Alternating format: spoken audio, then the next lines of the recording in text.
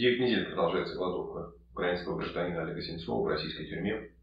Олег Сенцов требует освобождения политзаключенных, украинских политзаключенных, находящихся в российских тюрьмах.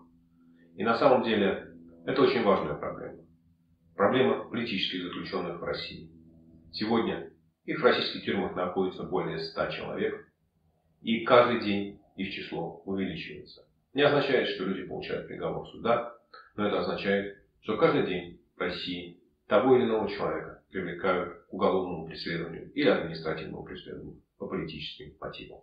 За репост, за лайк, за ретвит, за высказывание, за размещение фотографий или за выдуманное преступление, как у Олега Сенцова, которого обвинили в терроризме за то, что он якобы собирался взорвать памятник Ленину в Крыму. Олег Сенцов гражданин Украины, ему отказывают во встрече с украинским консулом, ему отказывают во встрече с украинским уполномоченным по правам человека. На прошедшей неделе у Олега был день рождения.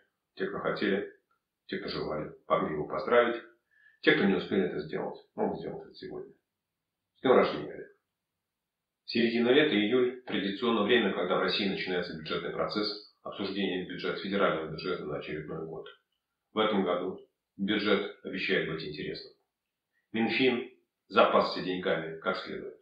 Хотя национальных проектов, на которые якобы нужны деньги, и для чего повышается пенсионный возраст, для чего повышается НДС, еще нет как таковых. Никто не знает, из чего они будут состоять.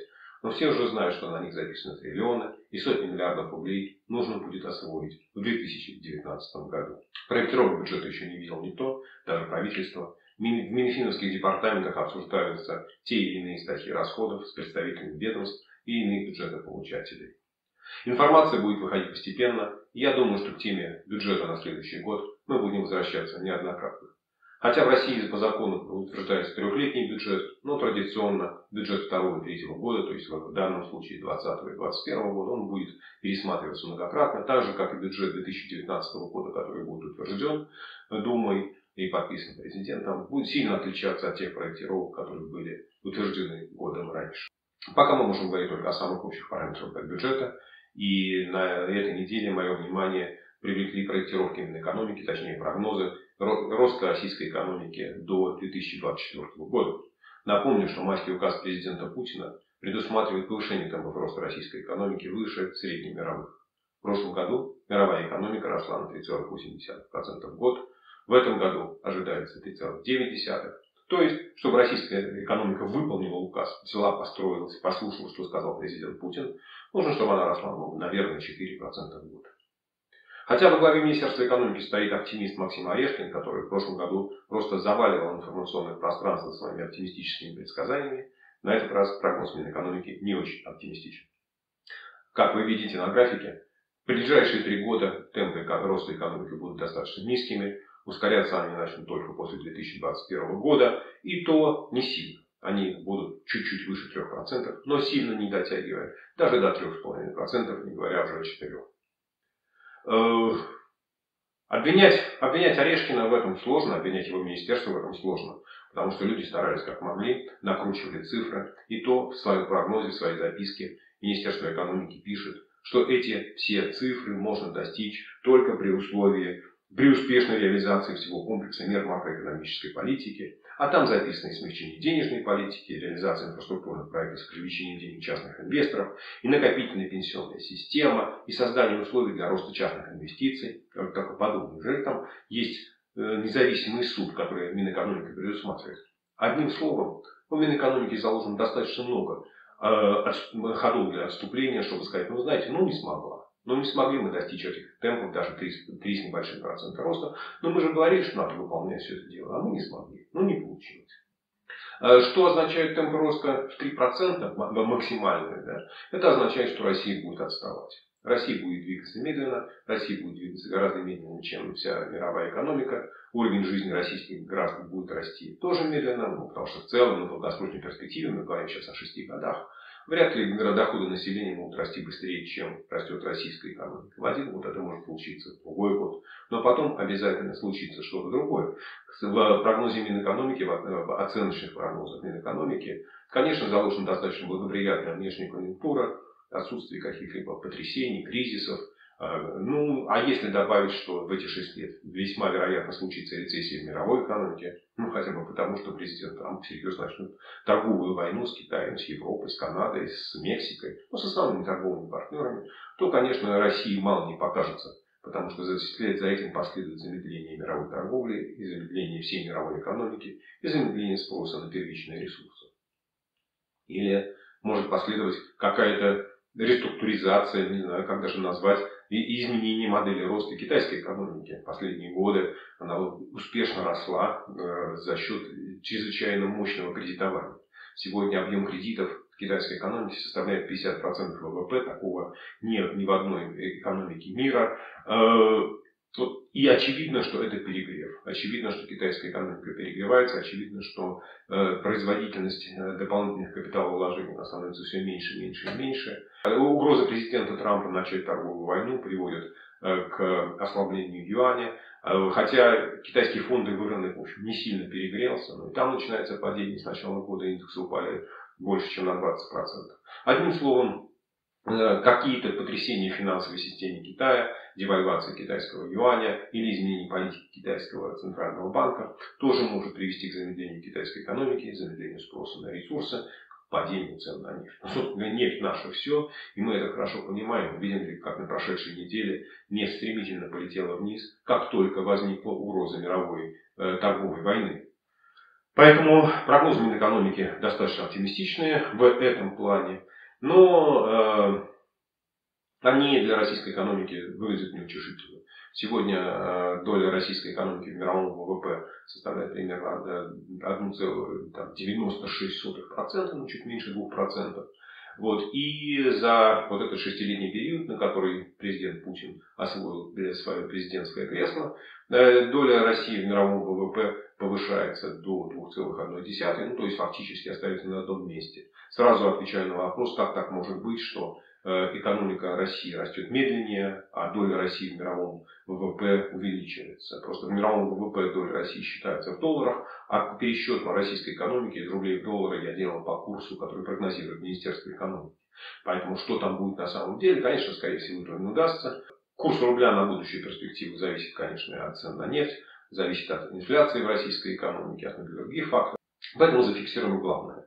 Всего через два месяца после подписания майского указа Министерство экономики заявляет о том, что самый главный пункт указа президента Путина мая 2018 года о том, что российская экономика должна расти быстро, и в связи с этим должны после этого должны расти доходы населения тоже быстро, и уровень жизни не будет выполнен.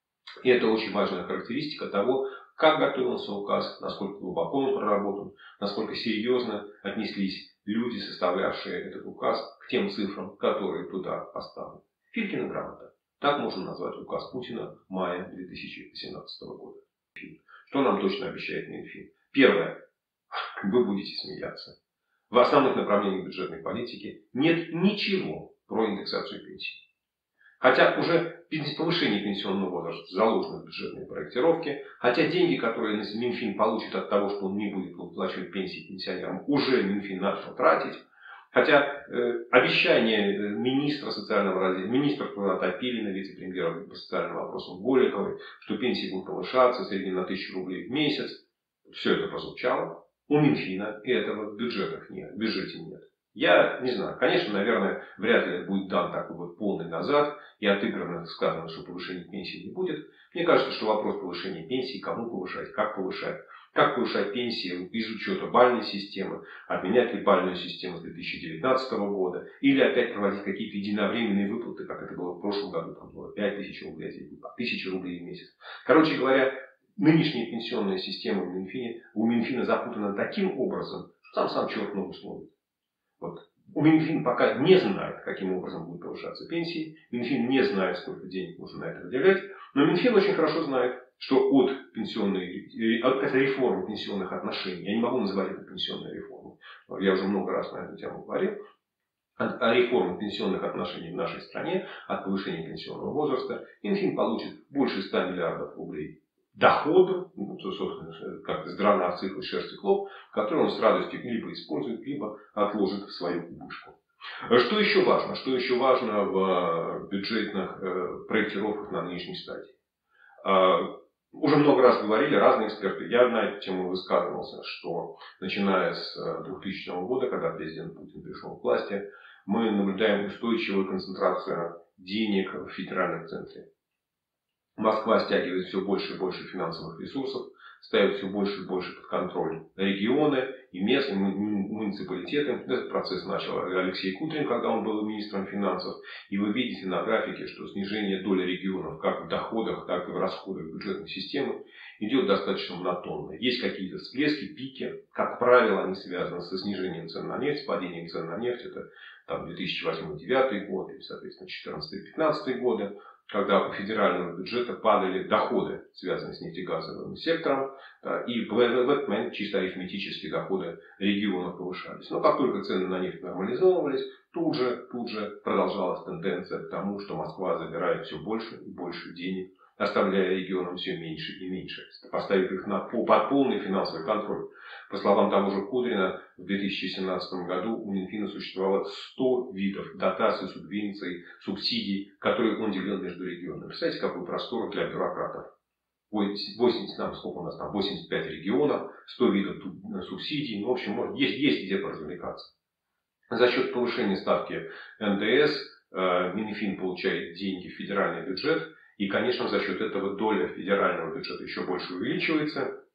Доля регионов, естественно, уменьшается. Но уменьшается доля регионов не только в доходах, но и в расходах. Это означает, что регионы не получат больше денег. Минфин собирается сам тратить их, сам контролировать. Ну, собственно говоря, это тоже не удивительно, потому что основные друзья президента, которые получат деньги и на строительство дорог, и на оснащение медицинских центров, и на строительство еще чего бы там ни было, они все живут в Москве. Конечно, к деньгам ближе ездить на улицу Ильинку, где находится э, Российское федеральное министерство финансов, нежели чем мотаться по регионам, выпрашивать у них жалкие крохи. Минфин объявил, что в том законопроекте, который он несет в Государственную Думу, он потребует пролонгации нормы, согласно которой поступление налога на прибыль по ставке 1% будут дополнительно отчисляться в федеральный бюджет. Сейчас эта норма работает до 2020 года. Минфин заявил, что он намерен продолжать ее до 2024 года.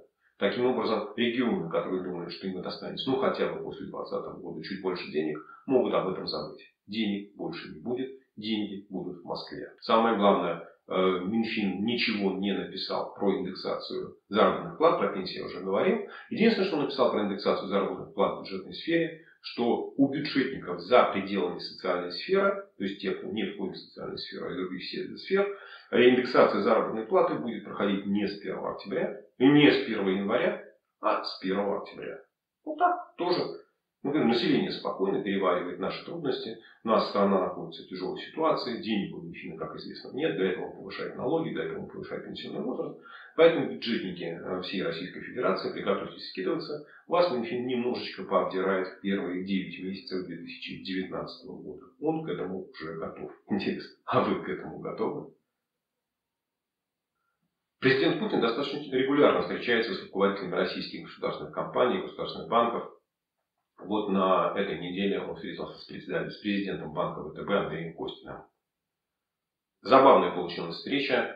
Э, Костин рассказывал про ипотеку, Костин рассказывал про ставки по депозитам и по кредитам. Э, ну, в общем, это... Я не очень понимаю, зачем это нужно было слушать Владимиру Путину, но больше меня поразил сюжет, который Костин поднял по своей собственной инициативе. Это был сюжет о ашеризации и дедоларизации российской экономики, когда он сказал, что неожиданно мы обнаружили, что с начала этого года у населения стал меньше сдвиг в сторону долларовых депозитов и кредитов относительно рублевых. Нам кажется, это важный элемент дальнейшей дедоларизации финансовой сферы нашей страны. И вот что сказал Костин дальше. Нам нужно создавать, я думаю, свои инструменты. Это нам даст дополнительно и защиту нашего финансового э, сектора от внешних факторов, и вообще даст новый импульс для развития финансового сектора. Я поэтому хотел предложение, если можно, то вы поручили рассмотреть и с средством структурам правительства Центральном банке и по возможности поддержать курс вот на такой дальнейшую долларизацию и до деофшоризации нашей экономики. Хорошо. Я понимаю, что это выглядит наверное, нескромно, но я поставил себя на место помощника президента по экономическим вопросам Андрея Белоусова и решил посмотреть на цифры. Может, действительно там у нас как что-то опасное творится с долларизацией. Может, действительно наша экономика перешла в доллары, и расчеты ведутся в долларах, население активно сберегает доллары. Посмотрел, и вы знаете, ничего не обнаружил. Точнее говоря, я обнаружил, что процесс дедоларизации российской экономики идет достаточно давно и достаточно устойчиво. Ну, например, пик валютных депозитов по объему в долларах э, и у населения, и у э, предприятий э, был в середине лета 2014 года, как раз перед сбитием малазийского Боинга, ровно на 1 июля, после чего объем долларовых валютных депозитов стал устойчиво снижаться. Он не снижается не быстро, у юридических лиц у компании чуть-чуть быстрее, у населения так чуть вверх, чуть вниз. Но в общем точно совершенно депозиты не растут. Если посмотреть на долю валютных депозитов в общем объеме депозитов и у населения, и у компаний, она устойчиво снижается. Какие-то шарахания, колебания вверх-вниз связаны с колебанием курса доллара, который тоже ходит вверх-вниз. Но понятно, что Э, никакой долларизации в российской экономике не наблюдается, а процесс дедоларизации идет достаточно последовательно, монотонно. И, в общем, здесь э, ну, я, я, не, я не знаю, где эксперты ВТБ нашли угрозу. С кредитами, с валютными кредитами ситуация еще забавнее. У населения пик валютных кредитов был э, в октябре, в сентябре-октябре 2008 года. Еще в прошлый кризис. И с тех пор, посмотрите, валютные кредиты населению монотонно снижаются, но уже практически сошли на нет. То есть наше население, оно ну, точно совершенно намного более грамотное, чем аналитики ВТБ, потому что население считает, что получая в основном рублевые доходы, брать валютные кредиты неправильно. И эта позиция населения осознала еще 10 лет назад, в эпоху первого валютного кризиса времен президента Путина. А с предприятиями, в общем, тоже достаточно понятно. Пик валютных кредитов предприятия прошли Э, в весной 2016 года, то есть практически два с половиной года валютные кредиты э, компании гасят, получая взамен рублевые кредиты. Поэтому где угроза долларизации, я, честно говоря, не знаю. Поэтому вот мне кажется, что ну, точно совершенно вот, э, президент банка ВТБ полез не в свою тематику. В принципе, эм, ну, с повышением роли рубля в международных расчетах, с повышением роли рубля Э, в, как резервной валюты. Ну, тем-то хорошая, да, и э, многие центральные банки этим озабочены. Ну, например, Европейский центральный банк э, два раза в год выпускает специальный доклад о роли евро в мировой экономике, где подробно разбирает тенденции, многочисленные графики, таблицы, показывая, какие происходят изменения, как евро используется в международных расчетах, как евро используется как резервная валюта, как евро используется как финансовый инструмент для выпуска еврооблигаций, Э, или акции, размещаемых на биржах, на котировки э, фиксируются в евро. Вот у Европейского центрального банка такой большой-большой доклад. Основной доклад выходит в начале года на странице 70-80, промежуточный доклад в середине лета. Это страница 35-40. Э, ну, наш центральный банк ничего подобного не выпускает. В принципе, вот если заниматься вопросом дедоларизации, повышения роли рубля, то, конечно, это работа центрального банка. Мне кажется, что тема дедоларизации и повышения роли рубля в международных расчетах мировой экономики, она вообще сегодня на повестке дня ни Центрального банка, ни правительства не стоит. А, осенью 2014 года, когда э, против России были введены санкции, когда Россия искала э, спасения в Китае, думая, что Китай сможет заменить своими финансовыми ресурсами западные финансовые рынки. Российский Центральный банк и Центральный банк Китая подписали соглашение о валютном свопе э, с тем, чтобы облегчать расчеты э, экономических агентов компаний двух странах между собой. Объемы свопа были колоссальными. С российской стороны 850 миллиардов рублей, с китайской стороны 150 миллиардов юаней. Я стал внимательно следить, искать следы использования этих валютных свопов, хоть какую-то информацию о том, нужны они или не нужны. Э, нашел два коротких пресс-релиза у Центрального банка, который говорил о том, что были проведены пробные сделки, которые показали работоспособность.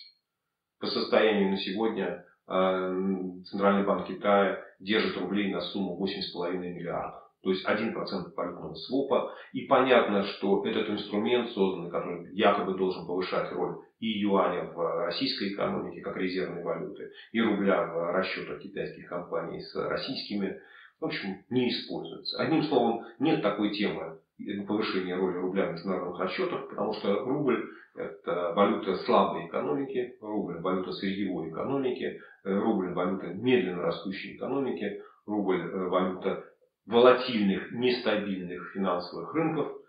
В общем, почему, почему его роль в мировой экономике должна расти, совершенно непонятно.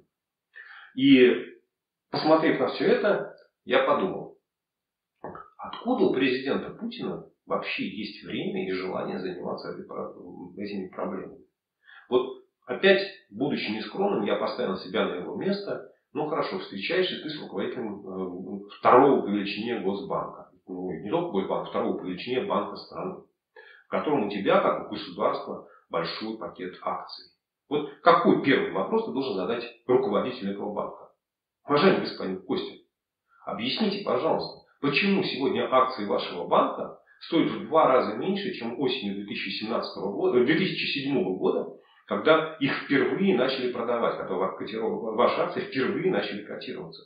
Ну как так вы управляете банком, что за 11 лет котировки акций упали в два раза и ну никак не хотят расти? Тут единственный вопрос, который имеет вообще смысл обсуждать с руководителем государственной компании. Почему веренные тебе активы не приносят доходов, приносит минимальные дивиденды, а их стоимость устойчиво снижается.